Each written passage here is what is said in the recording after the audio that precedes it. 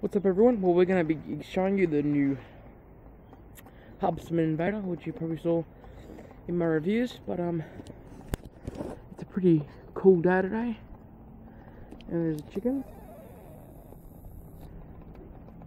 But let's get to the heli now this is a very good step up.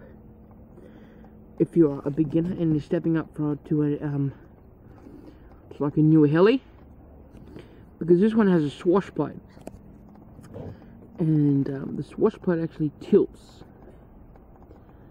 instead of the propeller at the back. The propeller at the back on this heli turns it left and right. Other than having the two pitch blades one slowing down all the time. Okay. You turn on the transmitter and you just plug in your heli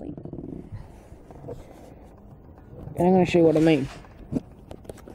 Normally when you turn left and right, you're going to have one, one um, set of blades lying down.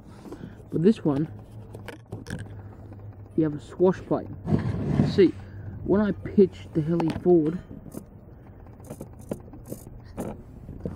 when I pitch the helicopter forward, the servo goes up forward. And when I go backwards, it goes backwards. And also, you can tilt. You can go side to side. So, when you tilt side to side, the swash plate tilts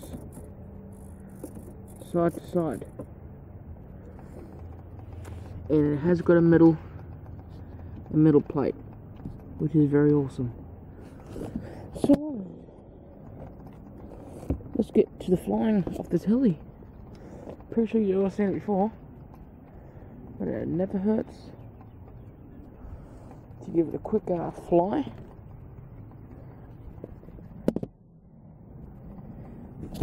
At all. So, um, we'll just take it for a quick